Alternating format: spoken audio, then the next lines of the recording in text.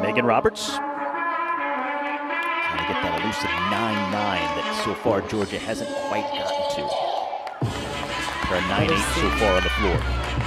This is one of those seniors that we said we would look for that consistency. Another huge opening pass. She just floats that, a pike full in, good position, good landing. That looked too easy for her. Switch side, straddle full.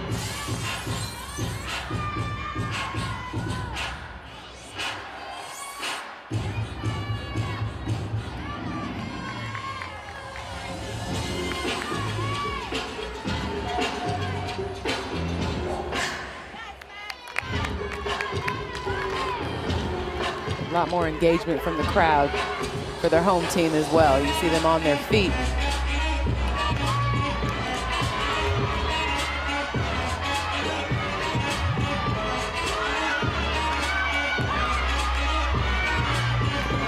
Extra seconds there.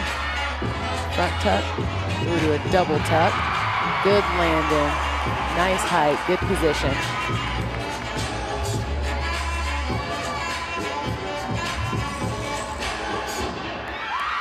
Just does two passes in that routine because she gets all of her bonus and combinations, so doesn't need to do a third. You'll see that from time to time.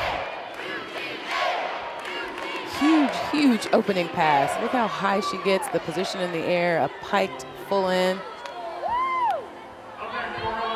Difficult start value, and then a front through to a double tuck and combination, so she'll get bonus for that.